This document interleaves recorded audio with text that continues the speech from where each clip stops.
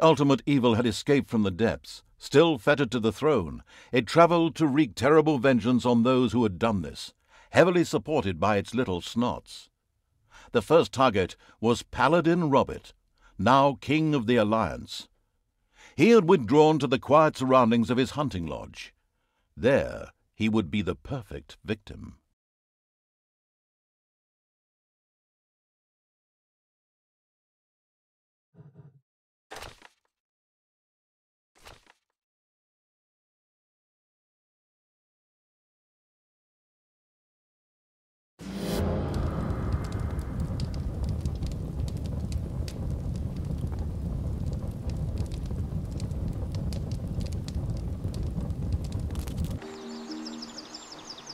According to scouts, King Robert spent most of his time strolling around his hunting lodge garden reciting poetry. Soon his poetry would turn into mournful ballads. The vengeful evil thirsted to defeat the Alliance's king and mount his head on the wall as a trophy. Whoops, of course, I really mean that he wanted to take all of King Robert's cookies away. Better play it safe, or the age classification folks will be after me. Before that, however, the ultimate evil had to do a bit of work on the dungeon. Otherwise, it wouldn't be able to fund even a small army made up of a few orcs.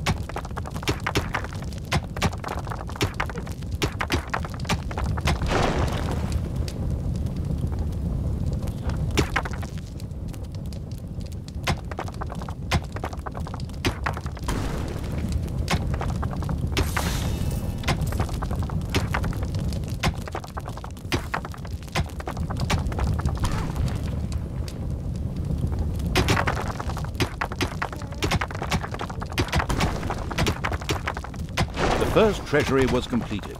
Soon Greedy Evil's little snots would fill it with gold. You know the golden rule, right? Whoever has the gold makes the rules.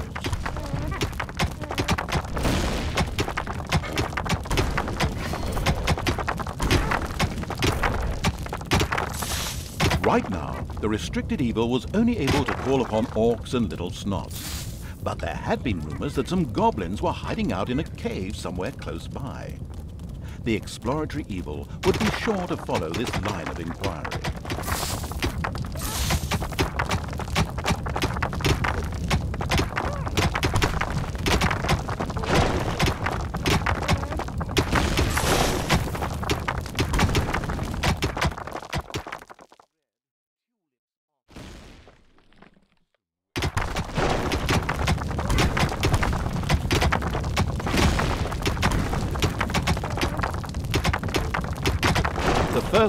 Was completed. Soon beer would be flowing like a river, and an Oktoberfest atmosphere would pervade all. Would the ultimate evil put the beer baron out of business? Ugh, such a duff reference. The strategy guidebook, Dungeons for Dummies, says Mountains don't always just consist of rocks and stone but may also include natural as well as artificial caves and rooms. These usually contain treasures and dangers to make digging around underground more exciting.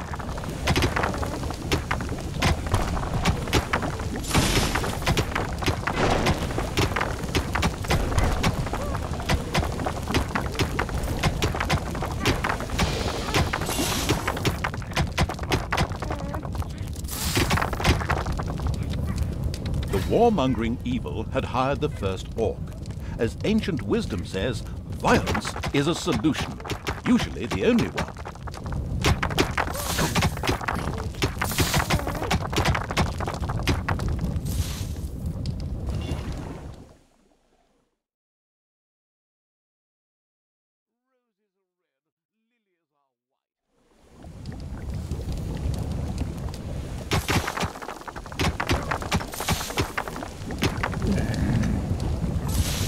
Another orc entered the service of the military savvy evil. The horde was growing and prospering.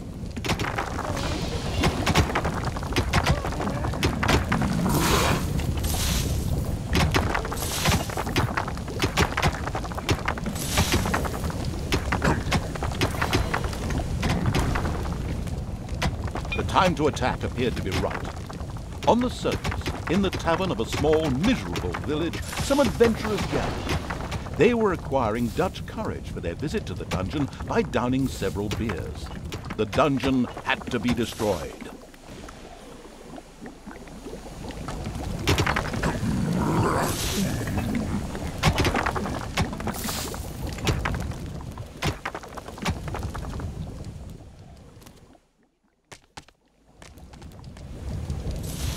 There are enemies in your dungeon.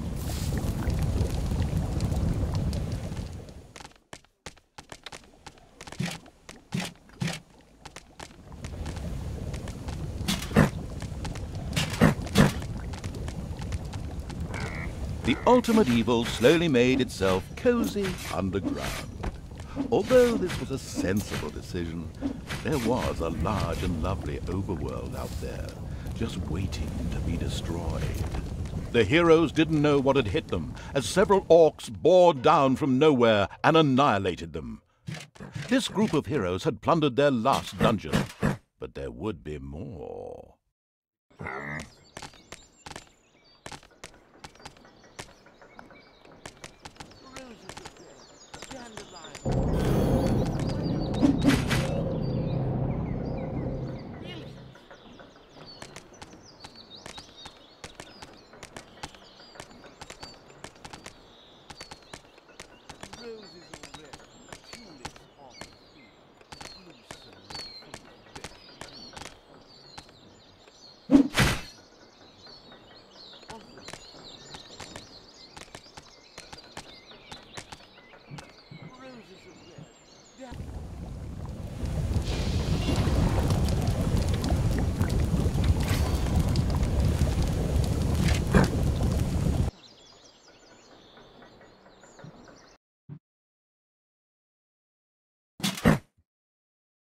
Roses are red, and I don't have an O.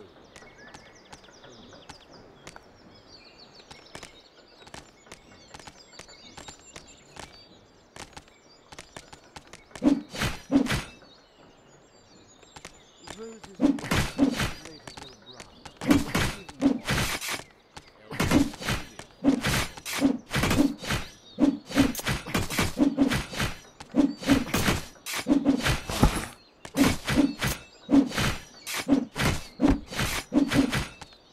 lilies are white. I love you totally, utterly, and wholly.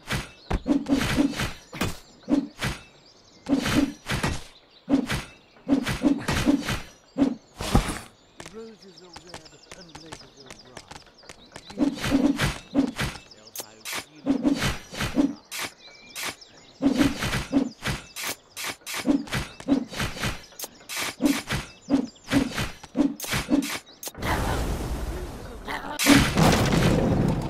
A delicious rumble announced the fact that the village's last house had crashed to the ground.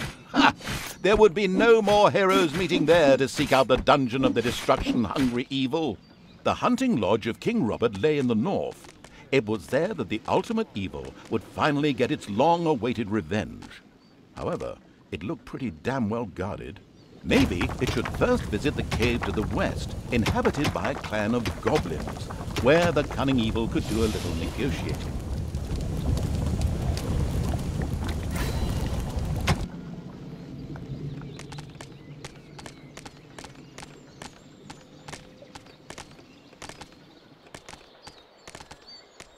Roses are red, lilies are white. I love you totally, utterly, and no shame.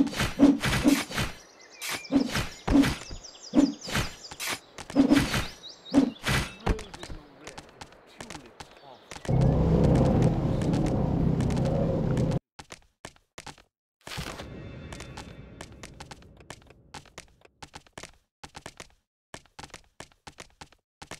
The goblin leader prostrated himself joyfully before the ultimate evil and immediately dispatched two goblins into its dungeon with a few plans for a new room, a tinkerer's cave. This was built as quickly as possible.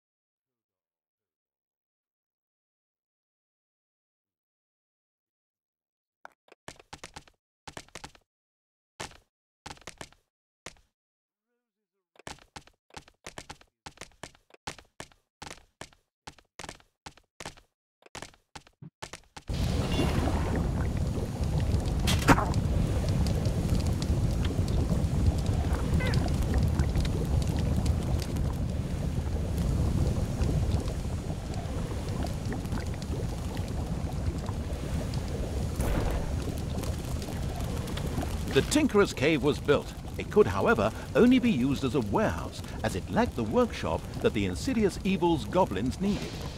Quick as a flash, Evil placed a creator mat in the Tinkerer's Cave. A sparkling new creator mat graced the Tinkerer's Cave of the expansion-hungry Evil. A goblin would be able to work well in here, producing toolboxes. A few of these boxes would now be needed in order to invent a trap. The moody Evil waited patiently.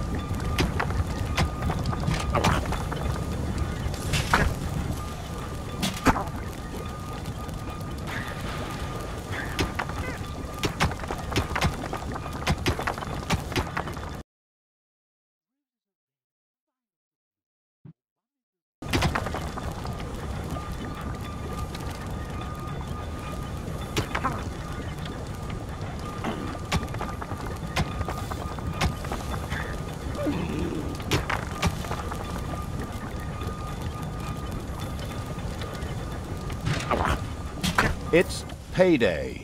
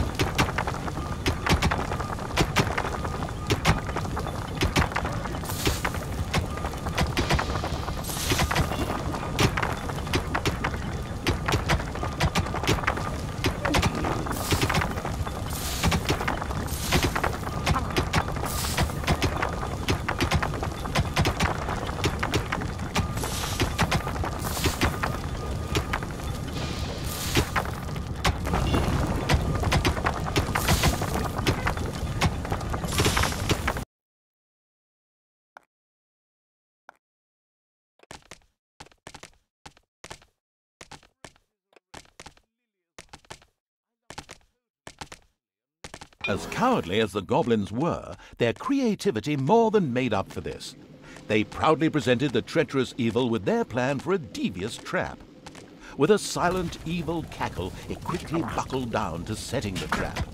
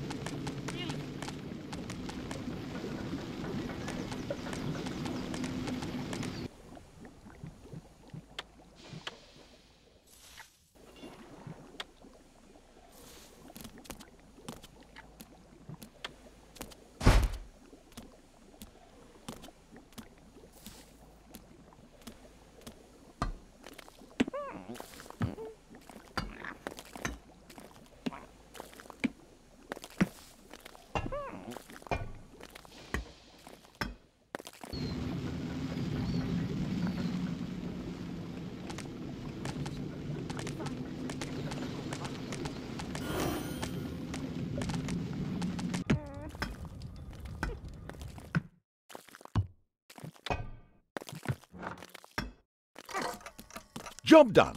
The trap was finished and ready to be found by a hero. this is going to be so much fun. Just at that moment, a particularly powerful dwarf warrior appeared in the dungeon. How had he suddenly arrived at this precise time was indeed most odd, but his presence was more than welcome. He was going to be a guinea pig for the trap.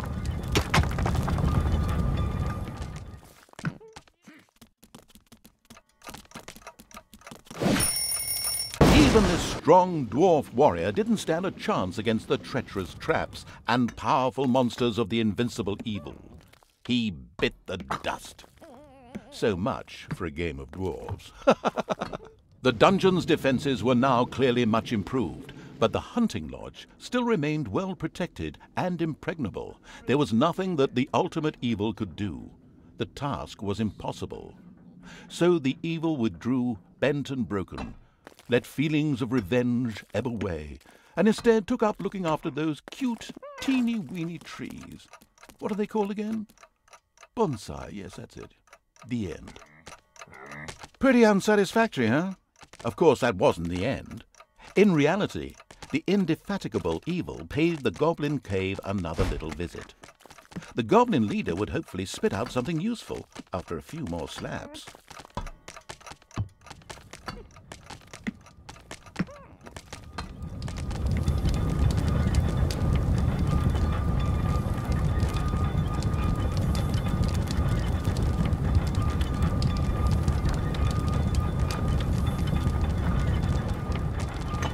Expansion-driven evil couldn't wait to explore the further possibilities of the Tinkerer's Cave.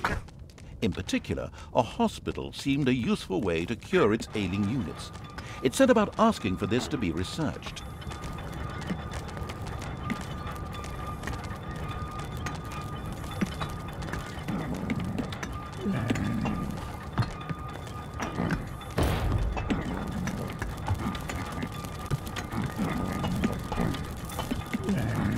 It's payday.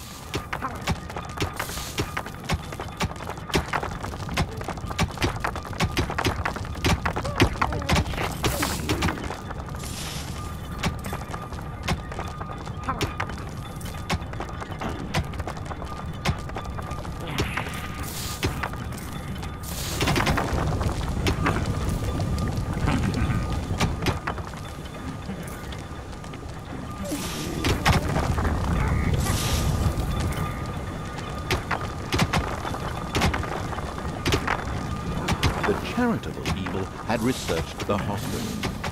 This would enable its units to quickly recover from their injuries, once it had been built, that is.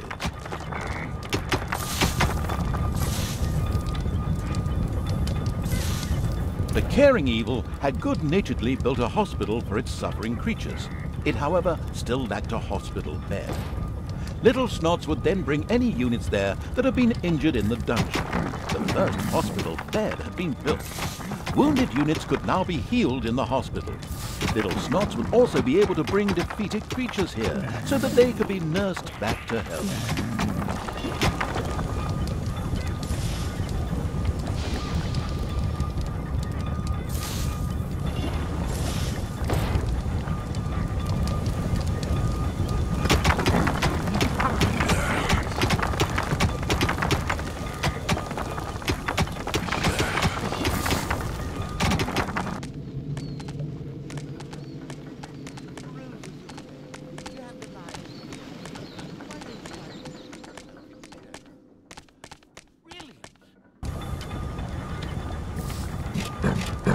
After a little personal tasting session, you'll be pleased to hear that the beer in your breweries is not too bad at all.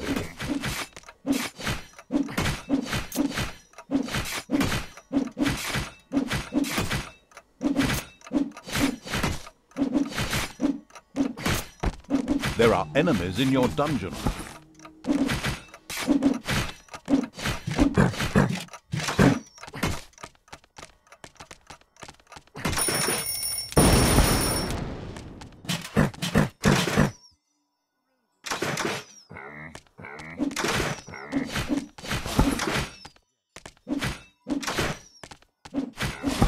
Although I had made myself perfectly clear, someone has persistently refused to follow my story.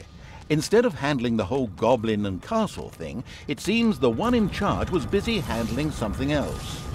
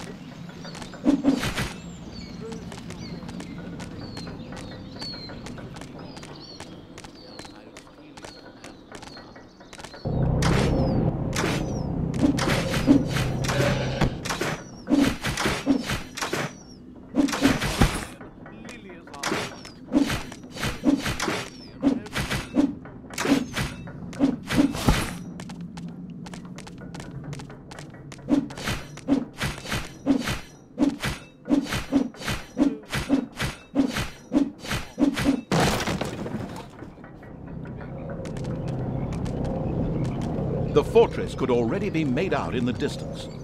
The walls were lined with crossbowmen.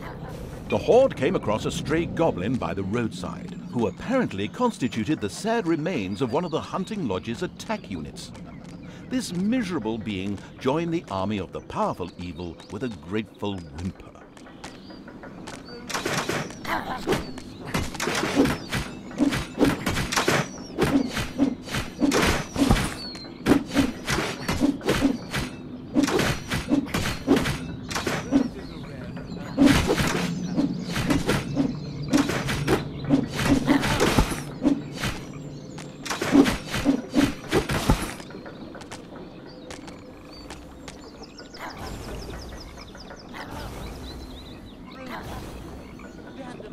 Undeterred and completely ignoring the words of the narrator, Goofy Evil sent its army forwards. The crossbow archers on the walls got themselves ready.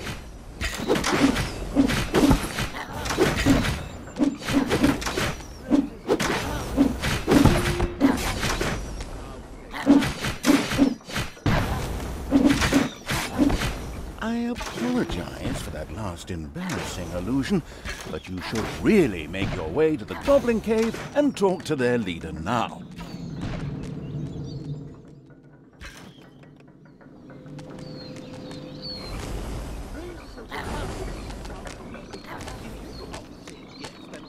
It's payday.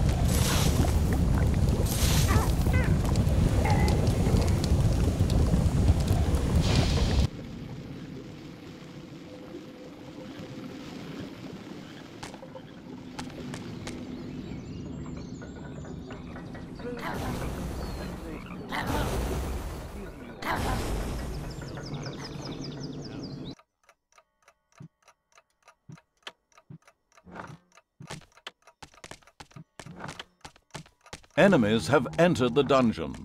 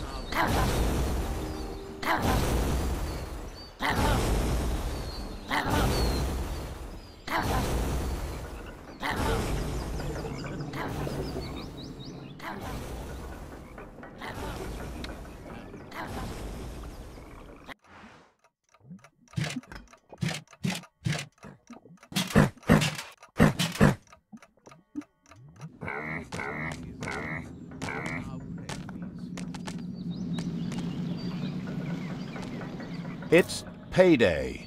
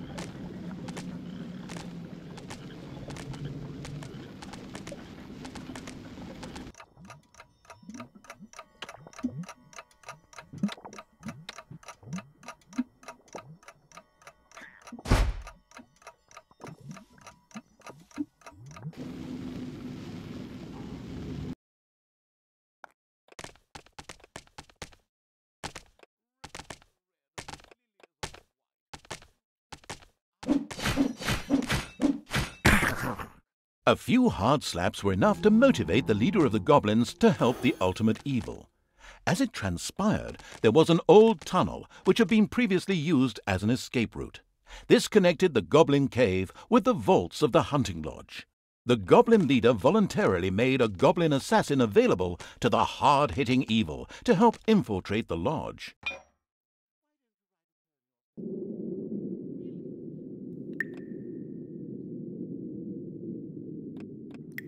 The cheerful evil was pleased with this support. An assassin was a decent melee fighter, but its actual strength lay in its ability to make itself invisible. This was, of course, tested out immediately.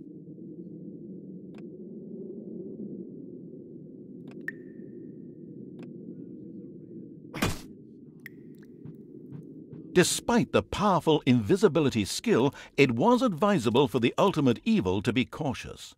Some opponents had such highly trained observation skills that they were actually able to see invisible units. A locked door prevented the assassin from progressing.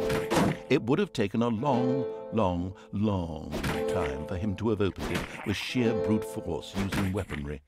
Thankfully, he had a suitable skill with which he could deactivate doors, and more importantly, traps. And so the negligent evil promptly allowed the only really vital unit to this mission to die.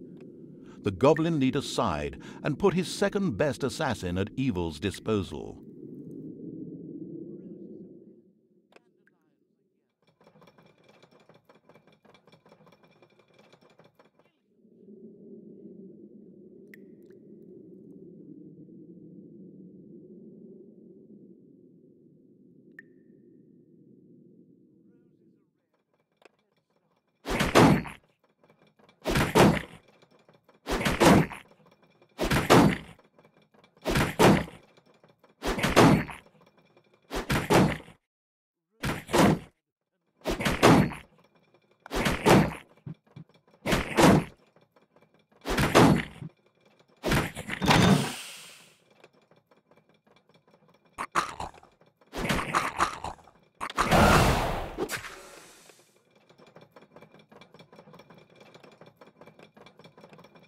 The on the ball evil recognized that the warrior princess there was extremely powerful.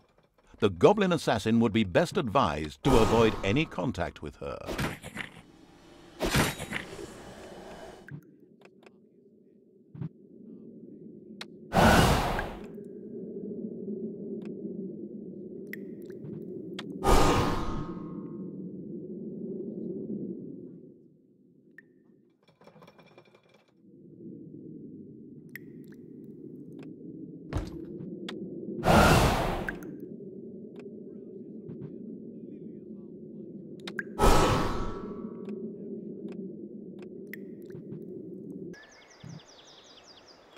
A Gobobot was being forced to make miserable repairs in the lodge.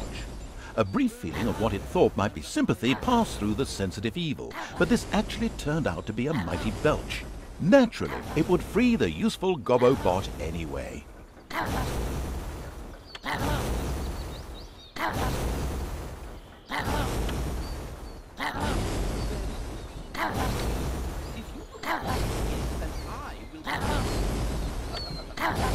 A little snot is secretly making jokes about the ultimate evil behind its back. You should punish it. But I forgot which one it was. They just all look the same.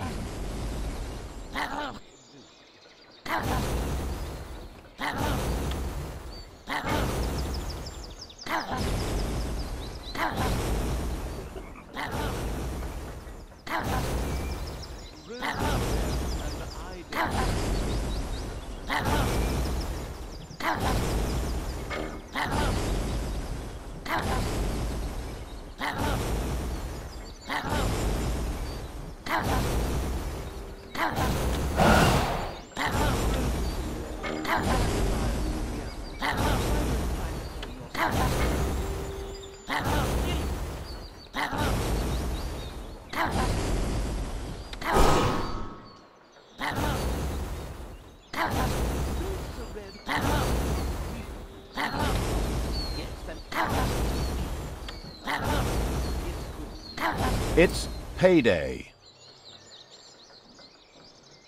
Bruises.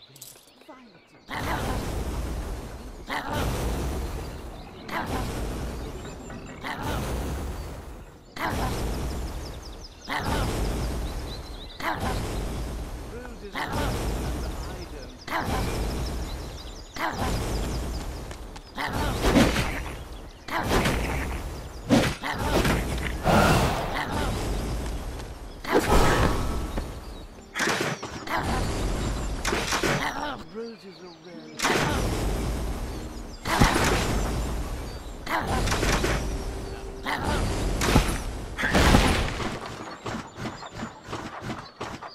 Elated by the assassin's attempt at rescuing it, the Gobobot joined the horde and succeeded in showing its tormentors a real hot time. Its ability to more or less ignore range damage and set fire to large areas would come in very handy.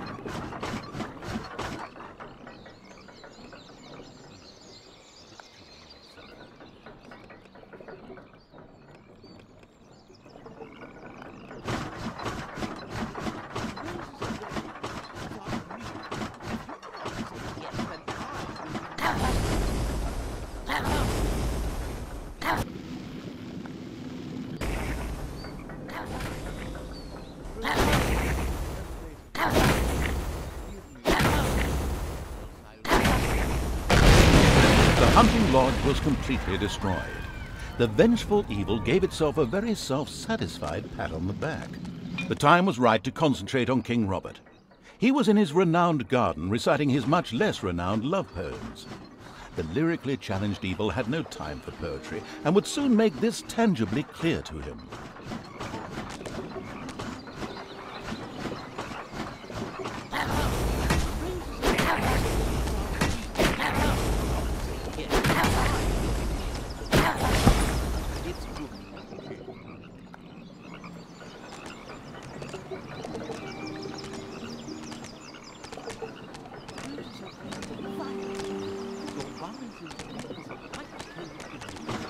King was accompanied by a pixie who was able to cast powerful healing magic. Any direct attack would be suicidal. Mercifully, the omniscient and helpful narrator was at hand. He pointed out to the impatient evil that the pixie went off from time to time in order to check that all was well, and much more importantly, eat her supper in a little camp to the south. The pixie buzzed over to eat her meal. The ultimate evil prepared an ambush.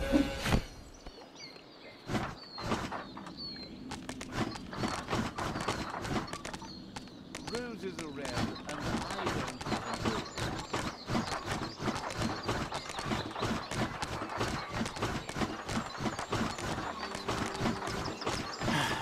One would think the killing a fragile flying being wouldn't be rocket science. But an incredibly incompetent evil had taken far too long in doing so and had startled a few guards into action.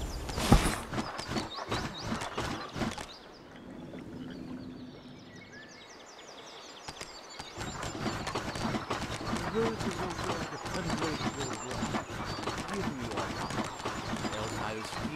and Payday!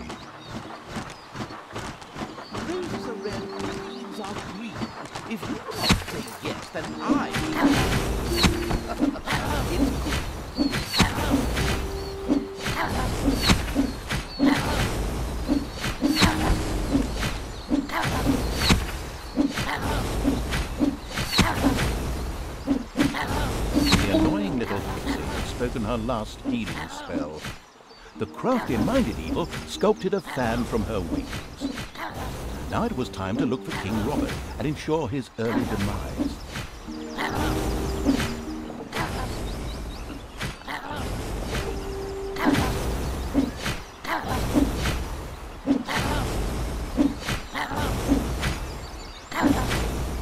King Robert fell, and the ultimate evil had received its well-deserved revenge. But there were still many more heroes out there who deserved to bite the dust. Their time would come.